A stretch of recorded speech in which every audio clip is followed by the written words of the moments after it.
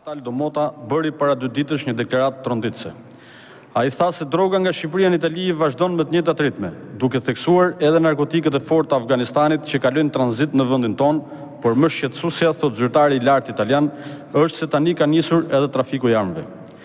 Prokurori i antimafias tha gjithashtu se krerët e këtyre grupeve kriminale që veprojnë në Itali e më gjerë gjenden në Shqipëri. Këto këmbana alarmi nga vendi fqinj vijnë në kohën kur Shqipëria është mbuluar nga droga dhe kur në krye të Ministrisë së Rendit qëndron personi i akuzuar me prova dhe me fakte si i lidhur drejtpërdrejt me bandat e trafikut.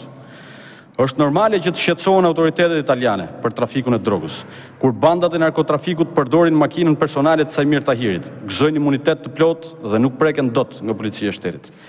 Sigurisht që trafiku i drogës drejt Italisë do të vazhdojë kur të afërmit e ministrit, një grup kriminal i mbajtur nën vëzhgim, të njohur si kontigjent, përdorin edhe makinën e ministrit edhe skafin e tij. Edi Rama mund të vazhdojë me propagandën e tij, mund të vazhdojë të jetë krenar me Saimirin e targës AA zero zero tre GB, por e vërteta që dinë autoritetet italiane është ndryshe, është tronditëse. E vërteta që dinë qytetarët shqiptarë është ndryshe. E vërteta është se droga ka mbuluar vendin dhe se ministri i Rendit është këmbë e krye i lidhur me trafikun e me trafikantët. Ka vetëm një rrugë, largimi i tij nga detyra dhe nisja e një hetimi të plotë dhe serioz.